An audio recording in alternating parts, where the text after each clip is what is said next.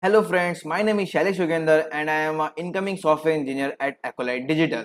So before moving to the course, let's know about what is Newton School and what are their launch pad. First of all, Newton School is a platform which prepares you for careers in tech. It has courses designed for the freshers, working professionals and also for the women with no tech background. Newton School first trains you for the first 6 months and helps you becoming the full stack developer it also has a network of more than 300 great companies who hire from the Newton School. So once the training is complete, Newton School also ensures that its students get placed with some of the best companies in the country.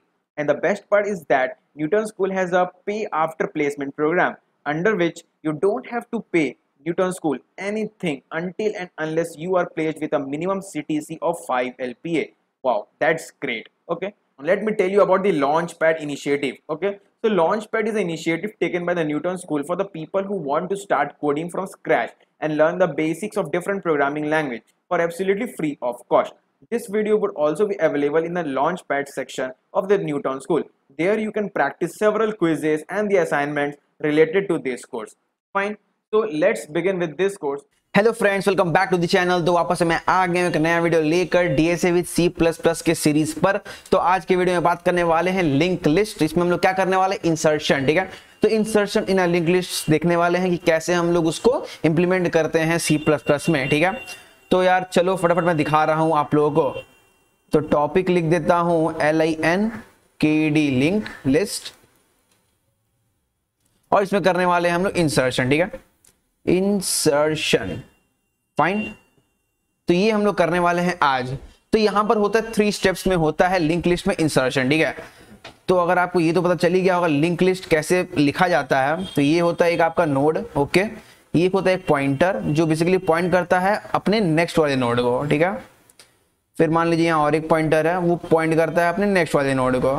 Fine और जो ये node है, इसमें हमारा कोई ना कोई value रहता है, ठीक है? मान लीजिए वन है टू है थ्री कुछ भी रहता है, वो डिपेंड करेगा कि आप क्या उसमें इंसर्ट कर रहे हो, ठीक है?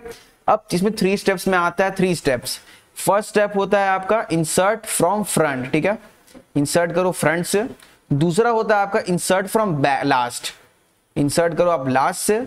और तीसरा होता है इंसर्ट करना एक स्पेसिफिक इंडेक्स में, ठीक है? तो तीसरा आपको इंडेक्स कर इंसर्ट करना है आपको स्पेसिफिक इंडेक्स में तो पहले देखते हैं हम लोग फ्रंट कैसे करते हैं, ठीक है?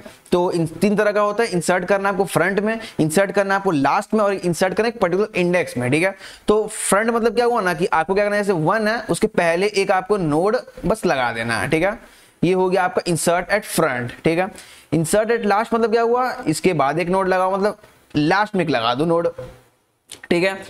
अब इसको अगर हटा दें यहाँ से एक बार एक बार के लिए हटा दें अब समझते हैं कि insert at a particular index मतलब क्या हुआ? जैसे वन टू थ्री दिख रहा है, ठीक है? मैं बोलूँगा इंडेक्स नंबर टू पे लगा दो। टू मतलब मैं वन बेस इंडेक्सिंग देखूँगा, ठीक है? वन बेस इंडेक्सिंग में देखने वाला हूँ मतलब इंडेक्स टू पर आपको मान लीजिए वैल्यू चाहिए फाइव ठीक है? इंडेक्स टू पर आपको वैल्यू चाहिए फाइव तो कुछ इस तरह हो जाएगा। यहाँ जैसे वन है वन अपना रहेगा, ये फ़र्स्ट इंडेक्स हुआ।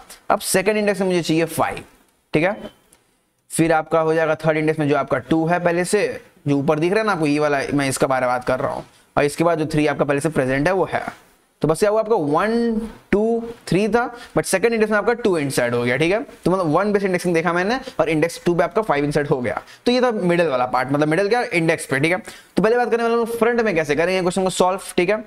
तो मैं वापस से एक बार बना रहा हूँ। वन टू थ्री को, ठीक है? वन हो गया ये आपका ये आपका टू हो गया, और ये आपका थ्री हो गया, ठीक है? तो अब बात करते हैं कि इंसर्टेड फ्रंट कैसे करेंगे?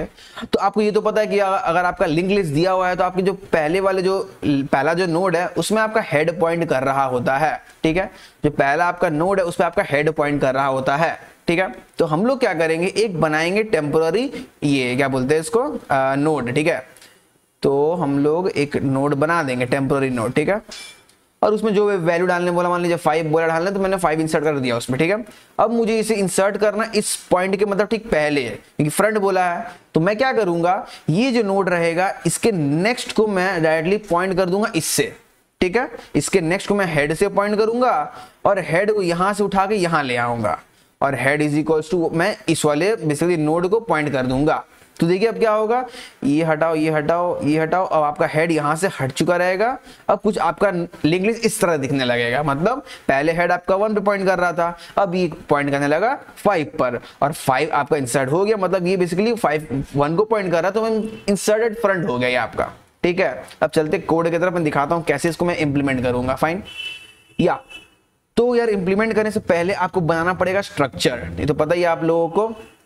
H T R U C T struct मान ली मैंने नोड का बनाया स्ट्रक्चर ठीक है? अंदर चलते हैं तो अंदर मेरा होने वाला है एक होने वाला है डेटा और एक होने वाला है आपका बेसिकली नेक्स्ट पॉइंटर तो वो भी आपका होने वाला है नोट टाइप ठीक है? तो नोट स्टार नेक्स्ट ठीक है? तो ये होने वाला आपका नेक्स्ट पॉइंटर ठीक है? तो ये जो हम लोग ये देख रहे हैं ना, ये वाला ये वाला नेक्स्ट पॉइंटर वो हो गया आपका नोट स्टार नेक्स्ट ठीक है? ये हुआ, अब एक बना लेते हैं हम लोग वो कंस्ट्रक्टर बना लेते हैं, क्योंकि हम लोग जो डमी नोड बनाएँगे एक एक्स्ट्रा जिसको हम लोग को इंसर्ट करना होगा डमी नोड के लिए हम लोग कंस्ट्रक्टर लगेगा वहाँ पर। तो मैं बनाऊँगा नोड इसके अंदर बेसिकली मुझे एक वैल्यू मिल रहा होगा, ठीक है? एक वैल्यू मिल रहा होगा इन अ कंस्ट्रक्टर ठीक है? तो ये पैरामीटराइज कंस्ट्रक्टर है ओके अब मैं सिंपली डेटा को उस वैल्यू से अपडेट कर दूँगा। फाइन क्योंकि मुझे क्या करना है? वो पर्टिकुलर जो नोड रहेगा, उसमें तो जो डेटा चाहिए अंदर में, जो मैं वैल्यू पास कर रहा हूँ कंस्ट्रक्टर में, वो मेरा वहाँ चाहिए ना तो मैं डेटा में अपडेट कर दूँगा वैल्यू को, ठीक है?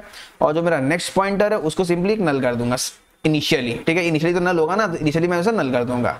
फाइन तो ये बन गया हमारा स्ट्रक्चर यहाँ होगा सेमी कॉलन फाइन तो ये स्ट्रक्चर बन गया। अब मुझे चाहिए इंसर्ट एट फ्रंट का एक फ़ंक्शन चाहिए मुझे। तो करने से पहले मैं क्या करता हूँ? यहाँ पर एक रेडी कर लेता हूँ अपना एक नोड तो मैं अपना एक नोड रेडी करता हूँ हेड ठीक है? उसको इनिशियली मैं नल रखता हूँ, ठीक है? कि कुछ है नहीं मेरा, वो हेड है, जो इनिशियली मतलब कुछ किसी को पॉइंट नहीं कर रहा नल को पॉइंट कर रहा है, ठीक है? अब चले बनाते हैं हम लोग एक फ़ंक्शन जो इंसर्ट करेगा फ्रंट में, ठीक है? तो void insert at F R O N D at front ठीक है? इसमें हम लोग पास कर रहे होंगे node star node star head ठीक है?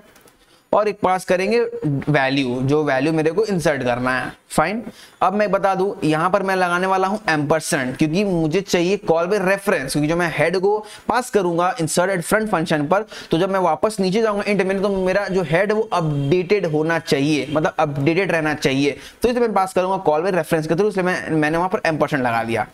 ठीक है? तो ये फ़ंक्शन यहाँ पर रेडी हो चुका है। मतलब रेडी क्या? मतलब इसका भी लिखना बाकी आगे का। तो चलिए क्या क्या यहाँ बेस केस होने वाला है? तो पहले बेस केस के पहले मैं क्या करता हूँ? एक वो ले लेता हूँ। ये क्या कर रहा हूँ? नोट स्टार एक न्यू नोट जो मुझे इंसर्ट करना है, ठीक है? तो ये मेरा डमी नोट जो टेम्पोरी नोट में बना रहा हूँ, जो मुझे इंसर्ट करना है, मैं पहले से इसको क्रिएट कर देता हूँ, ठीक है? तो बेसिकली बस आपको ये आपको स्ट्रक्चर कॉल करना है तो आपका कंस्ट्रक्टर तो ऑटोमेटिक कॉल हो जाएगा वहाँ पर, ठीक है? तो new node star new node equals to new node और ब्रैकेट में वैल्यू पास कर दो। क्योंकि आप देखो यहाँ पर कंस्ट्रक्टर का आप क्या किए हो? वैल्यू पैरामीटर वैल्यू पास किया हो ना? तो ये वैल्यू लेके बस यहाँ पर पास कर दो, ठीक है? तो वो आपका क्या होगा? बेसिकली आपका डमी नोड क्रिएट हो जाएगा, जिसका डेटा आपका वैल रहेगा और नेक्स्ट आपका उसका नल रहेगा। फाइन ये हुआ। अब बेस केस आता है इफ़ आपका हेड आपका नल है, ठीक है? आपका हेड अगर नल है, अब मैं बता रहा हूँ उस केस में क्या होगा? हेड नल मतलब क्या हुआ? आपका हेड है और वो पॉइंट कर रहा है बेसिकली बस नल को पॉइंट कर रहा है, ठीक है? मतलब कोई आपका नोट वोट कुछ नहीं, बस नल को पॉइंट कर रहा है। तो उस केस में अगर आप इंसर्ट फ्रंट करोगे तो बेसिकली आपका क्या होगा? इस तरह कुछ देखने को मिलेगा आपको। मान लीजिए फाइव आपने डेटा इंसर्ट किया, और हेड आपका यहाँ पॉइंट कर रहा होगा इस फाइव को। बस, और ये फाइव अपना पॉइंट कर रहा होगा नल को, ठीक है?